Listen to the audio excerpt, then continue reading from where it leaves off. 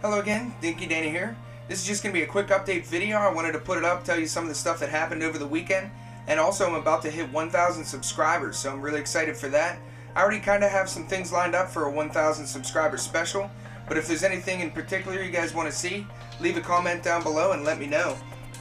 The first thing I'd like to talk to talk about in this video is something that I got in the mail. I got a TurboGrafx, and it came with the cables and one controller and four games. And about two to three months ago, I put up a video saying I got a complete boxed TurboGrafx, and I've had it all this time, and I've never had any games to play on it. So I haven't really touched the system at all. I put in a hockey game just in to check to see if the system worked. That's all I had to play, and I've really been looking forward to playing the system and just can't find any games around my town. I've looked and I've seen like Keith Courage for $15 and stuff, but um, most of the games I, I really can't find at all. And I, and I wasn't really looking to go on eBay, but I finally just caved and I bought some games on there. And what I ended up getting was this console and also four games. And the first game that I got, I'm actually playing it right now, I made it through the first two worlds, is Bonk's Adventure. This is the main one that I've been wanting to play because everybody always recommends it. And so far I'm really enjoying it. It's a lot of fun. Instead of instead of jumping on enemies' heads, you have to jump up in the air and then you slam down on them with your forehead. It's really funny. And uh, it's, it's, just a really cool game. i I'm, I'm really enjoying it so far. The next game that came with this is Bonk's Revenge and I'll, I'll play that one after I beat the first one, of course. And then Time Cruise, and the fourth one is Neutopia. And the other ones I didn't even look up, so I don't know what those two were even about.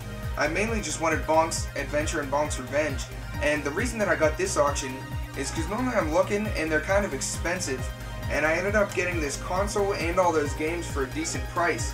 But the reason I wanted to show you guys this before my games I bought recently video for March is I'm not planning on keeping this system.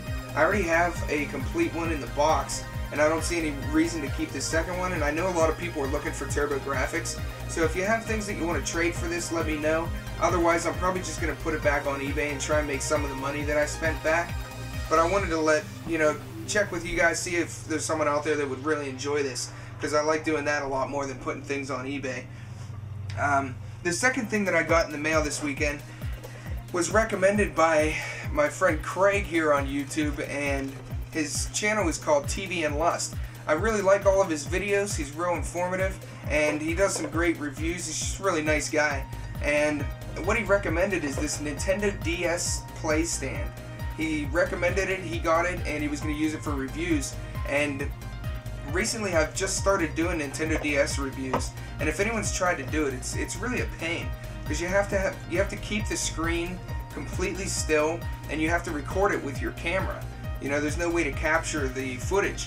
So it's kind of a pain having to make sure that it stays still and things like that. So whenever I saw that he did a review of this, I definitely bought it and it was only $15 on Amazon. So if anyone's interested in this, definitely look up Nintendo DS Play Stand on Amazon. It's real cheap and that's what it looks like. You can you can twist it around and spin the angles and stuff like that. So I'm hoping it's going to help a lot with my reviews. So those are two things that I wanted to show you before, um, instead of waiting a whole month. The next things I'd like to go over are some games that I played over this weekend.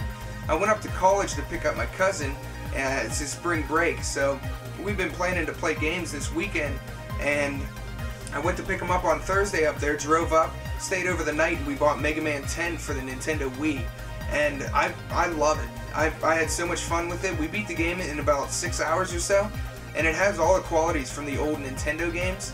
So I, I love that they're bringing out those old games, and I'm, I'm assuming that Mega Man 9 did really well, so they brought out this one.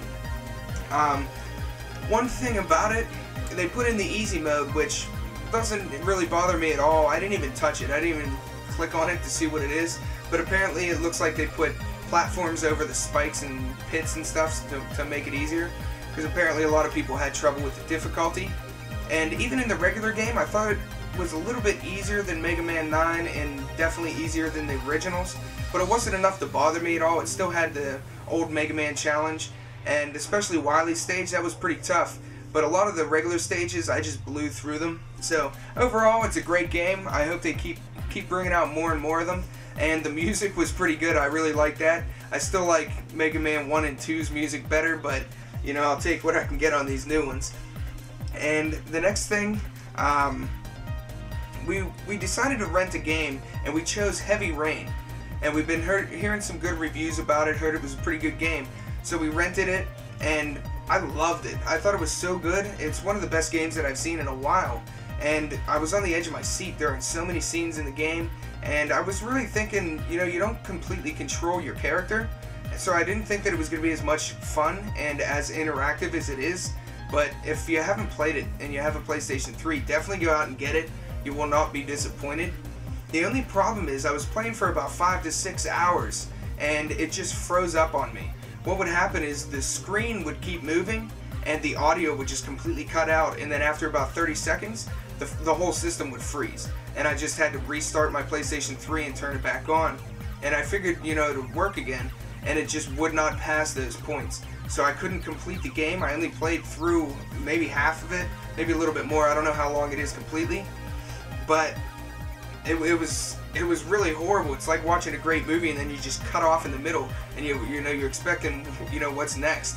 So if anybody knows how I can fix that on my PlayStation 3, I looked it up online, and apparently it corrupts some files. So I had I tried putting in other PS3 games, and it still froze. It wouldn't even load my regular PS3 games.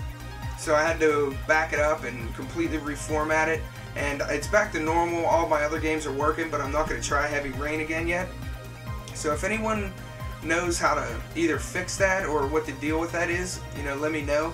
Um, I also tried uninstalling it, reinstalling it, not connected to the internet in case it was that patch that came through, but nothing worked. So I'm really dying to finish the game. I'd really like to see, you know, what, what the rest of the choices are and things.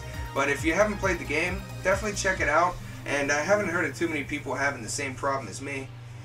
But um, I just wanted to put up a video, tell you guys what I got in the mail, see if anyone wanted that TurboGrafx, and tell you what I was playing. Um, since we got held up on Heavy Rain, we decided to play a different game instead, and that's Batman Arkham Asylum. I've had this game for a while, and I just never got around to playing it and we completed the whole game and it was a lot of fun. It was one of the better superhero games I've played in a long time. So it, it lived up to the hype. Everyone was telling me that it was really good, and it, it really was. I really liked the character of the Joker. Um, Mark Hamill doing the voice was just incredible, and the the controls were way better than I was planning. So definitely play Batman Arkham Asylum if you haven't, and also Heavy Rain. And uh, those are the things that I just wanted to share with you. Um, leave comments about what you'd like to see as a 1,000 subscriber special. And also, if you know what was going on with Heavy Rain in my PlayStation 3, let me know on that too. So, alright, well, thanks for watching, and I'm Dinky Dana.